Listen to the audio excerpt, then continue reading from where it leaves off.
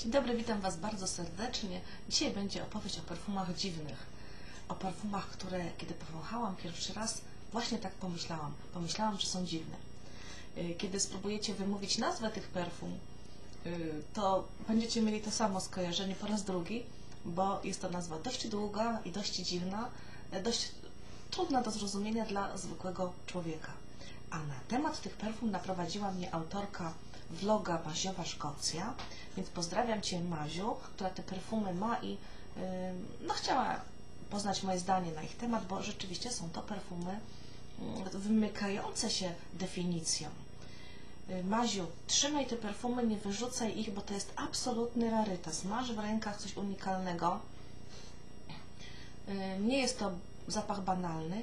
Ma, te perfumy mają ponad 100 lat. Zostały e, stworzone, wprowadzone na rynek w 1912 roku przez bardzo, bardzo ważnego perfumiarza, przez Jacques'a Guerlaina, który z kolei był dziadkiem Jeana Paula Guerlaina, który do niedawna jeszcze tworzył perfumy, a teraz e, przekazał całe swoje dziedzictwo Remu Wasserowi.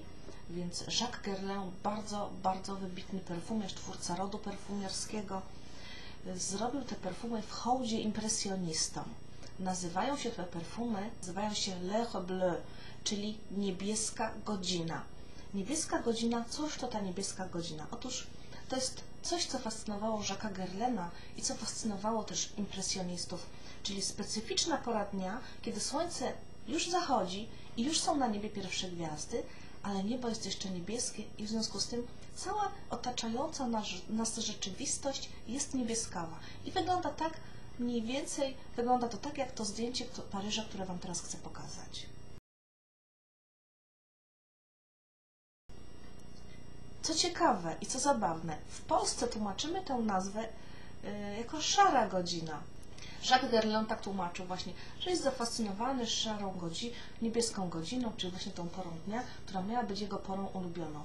A ja myślę, że Jacques Guerlain nie mówił nam całej prawdy, y, bo jak każdy wielki człowiek, artysta, kreator, zostawił coś dla siebie. Chcę Wam teraz udowodnić, że y, kiedyś perfumy robiono inaczej, że były całkowicie przemyślane, że można porównać te stare perfumy do starych, do malarstwa, na przykład Leonarda da Vinci, może się ktoś obru- obruszy, gdzie są przemycone kody, gdzie w perfumach, gdzie w kreacji jest coś więcej poza prostym odbiorem, poza prostym obrazem, poza prostą, y, prostym odbiorem takim na pierwszy rzut oka, tak go nazwijmy roboczo. Otóż Jacques Guerlain mm, nie powiedział na przykład tego, że w tych perfumach jest jakaś dziwna nuta w nucie głowy, która jest wyczuwalna od razu. I to jest coś, co wyróżnia te perfumy od wszystkich perfum Guerlaina z tamtych czasów, które były albo kwiatowe, albo cytrusowe, takie w znaczeniu wody kolońskie cytrusowe, albo po prostu były to męskie wody na bazie ziół. Tutaj mamy anyż w nucie głowy i bardzo dużo pudrowych, fiołkowych i rysowych nut yy, w sercu, w nucie tła, czyli zapach naprawdę bardzo wyróżniający się i taki inny. Zdecydowanie, to ja bym powiedziała, że to był alien tamtych czasów. Dlaczego tak było? Otóż y, Jacques Guerlain stanowił y, elitę ówczesnego społeczeństwa, zapewne też finansową, w związku z tym mógł sobie pozwolić na taki wyższy standard życia, kolekcjonował dzieła sztuki. Jean-Paul Guerlain po dziś dzień y, fotografuje się na tle swojej stylowej rezydencji pełnej właśnie dzieł sztuki i był wyraźnie zafascynowany impresjonistami. Impresjoniści to nie tylko wybitne dzieła, o których wiemy i wiemy właśnie, że chętnie sięgali po te ulotne momenty, plus kolor niebieski, który wtedy bardzo y, obficie pojawiał się w malarstwie. Przede wszystkim impresjoniści s- mm, to był specyficzny styl życia, artystyczny, mówiono bohema artystyczna, bardzo dużo y, twórców, malarzy impresjonistycznych żyło tak na luzie, żyło obok społeczeństwa i pili i nadużywali specyficznego trunku, tak zwanego absyntu. Y, Ja nie reklamuję w tej chwili tego alkoholu, ale chcę Wam wytłumaczyć fenomen zapachu. Absynt to był taki specyficzno-jaskrawo-zielony alkohol, który był popularny, a potem został zakazany. Y, Alkohol wyglądał mniej więcej tak jak na tym zdjęciu.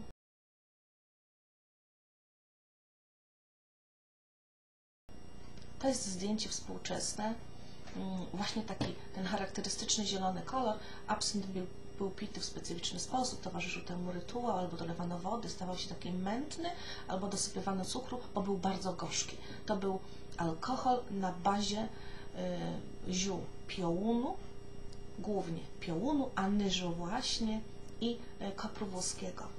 Y, Był popularny, był nadużywany i w pewnym momencie y, sugerowano, że jest uzależniający, że ludzie pod wpływem tego alkoholu robią rzeczy y, no jakieś takie, których by normalnie nie zrobili. W związku z tym właśnie w momencie, kiedy powstawało Le Bleu, czyli niebieska godzina, y, wprowadzano na świecie zakaz y, produkcji i spożywania zielonej godziny, bo tak był absent nazywany, zielona godzina albo zielona wróżka. Możemy się więc domyślić, że w tych perfumach jest jakaś tęsknota za absyntem, bo trzy lata po y, tym, jak wprowadzono zakaz w pewnej części Europy i w Stanach, także i w, we Francji, absynt został trunkiem zakazanym. Ym, Krótko mówiąc, w każdym dobrym dziele, bez względu na to, czy są to perfumy, czy y, jest to dzieło literackie, czy obraz, zawsze znajdziemy kilka warstw, tak na to mówią krytycy. I to tak samo w tych perfumach możemy właśnie znaleźć odwołania do codziennego stylu życia impresjonistów, do ich dzieł sztuki, do fascynacji y, malarstwem impresjonistycznym i życzę każdemu, żeby y, dzieła, z którymi obcuje, dzieła, czy to są zapachowe, żeby właśnie były takie bogate, żeby wzbogacały nas i przemycały nam takie w sposób delikatny, zawalowany, takie właśnie treści dodatkowe. Chociaż oczywiście dzisiaj perfumy powstają inaczej, jest to marketing, ktoś tam robi badania, ach, podoba się to, robimy y, perfumy z tą nutą i robimy silny marketing. Nie jest to do końca złe, bo y, w ten sposób też powstało wiele wspaniałych kreacji. Y, Natomiast ja zawsze będę miała taki sentyment do perfum, które powstawały właśnie w ten sposób, spontanicznie, pod wpływem emocji. Przede wszystkim powstawały powoli, bo kiedyś nad perfumami pracowało się kilka lat dopracowywano formułę. Taka tęsknota za tamtymi czasami. Nie wiem, czy znacie te perfumy. Jeśli tak, dajcie znać. Y, Chociażby y, o jakiej porze roku Waszym zdaniem y, najlepiej by się prezentowały, bo ja myślę, że jest właśnie idealna pora teraz na cieszenie się tymi perfumami, przy czym jeśli ktoś szuka tego produktu, to powinien się przygotować, że nie jest tak łatwo dostępny, ale musiałam ten, ten filmik zrobić, bo już dawno myślałam o tych perfumach i myślałam o marce Guerlain, której się należy troszkę więcej miejsca na moim blogu. Dziękuję Wam za uwagę i życzę Wam samych cudownych wrażeń zapachowych w- przy perfumach z duszą, bo ja myślę, że to są właśnie takie perfumy. Do zobaczenia, pa, pa.